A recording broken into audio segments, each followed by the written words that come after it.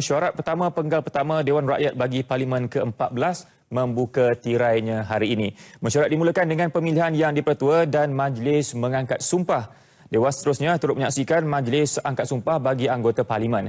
Dan laporan penuh mengenainya kita terus saja bersama Andy Reza Rohadian. Silakan.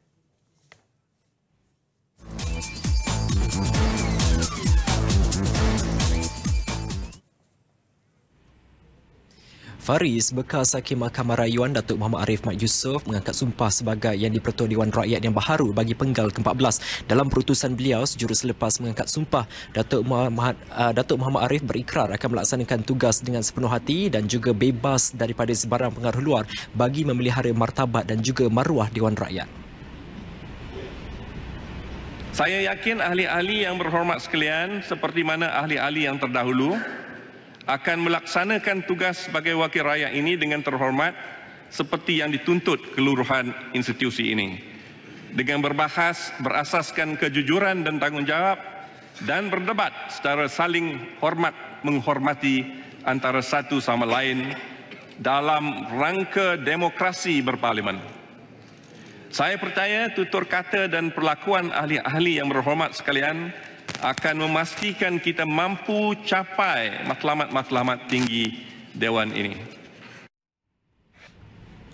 Ya, Datuk Muhammad Arif merupakan yang dipertua Dewan Rakyat ke-9 selepas Tan Sri Pandikar Amin Mulia. Beliau memulakan kerjaya pada 1974 sebagai pensyarah undang-undang dan seterusnya Profesor Madya Fakulti Undang-Undang di Universiti Malaya sebelum menjadi peguam pada 1986. Antara 1993 hingga 1995, beliau keluar sementara daripada bidang guaman apabila uh, menyertai Suruhanjaya Security yang baharu ditubuhkan pada ketika itu dan menjadi pengarah pertama Jabatan Penyeliaan Pasaran. Pada September 2008, beliau beliau dilantik sebagai pesuruhjaya kehakiman di Mahkamah Tinggi dan kemudian Hakim Mahkamah Tinggi setahun kemudian.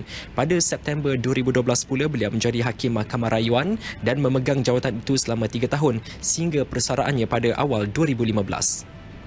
Baik, saudara, selepas selesai majlis angkat sumpah yang dipertua Dewan Rakyat, majlis angkat sumpah ahli-ahli parlimen pula berlangsung bagi penggal yang ke-14. Perdana Menteri Tun Dr. Mahathir Mohamad dan juga ahli Parlimen Langkawi mengetuai istiadat mengangkat sumpah di hadapan Speaker Dewan Rakyat. Ia kemudian diikuti timbalan Perdana Menteri Datuk Seri Dr. Wan Azizah Wan Ismail yang juga ahli Parlimen Pandan dan seterusnya anggota-anggota Parlimen kerajaan yang lain.